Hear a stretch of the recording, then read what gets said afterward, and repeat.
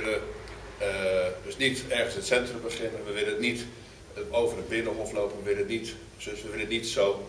Het is één grote verrassing worden. We beginnen, dat is de bedoeling, onder de, een van de mooiste bomen in Den Haag. Dat is de kastanje op het uh, Koekamp. En daar krijgen de mensen een verrassing. Die gaan dan een wandeling doen. En ik zeg niet waar en hoe en wat. Dan gaan ze vaartocht doen. En daar zit een gids, want we hebben niet zo gekke water als we moeten, want er zit een bepaalde route gebonden. Maar er wordt Den Haag op een andere manier belicht dan normaal gesproken.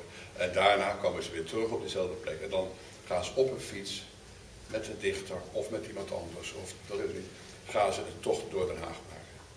En zo willen wij dus de, de, de ja, de andere kant van Den Haag laten zien. Dus niet dus de, de, de highlights die je standaard altijd moet zien, waar we dus alle verhalen uit ons hoofd weten, want het een beetje een, uh, ja, soms uh, dreunen wordt, dus dat is niet zo hoor, maar uh, het is vaak hetzelfde verhaal, maar we willen het nu eens gaan verdiepen, wat anders gaan doen, laten mensen laten verrassen.